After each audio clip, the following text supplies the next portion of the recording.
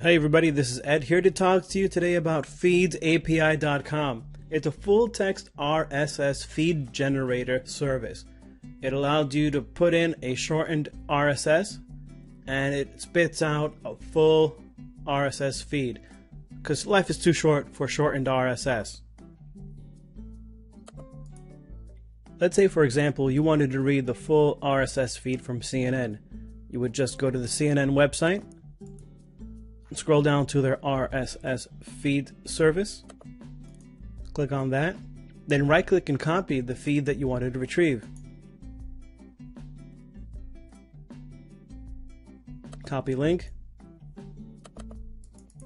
Then go to the feedsapi.com website. And you have several options. You can click on the Get Started button, enter in your email address, select one of the three plans. You can select from the personal use, for free for five days, then $5 for each month, the Autoblogger for Webmaster, or the professional use, then click Submit Form.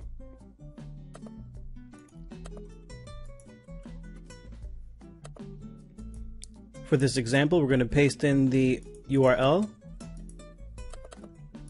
make the max items 10, then click Create Full Feed.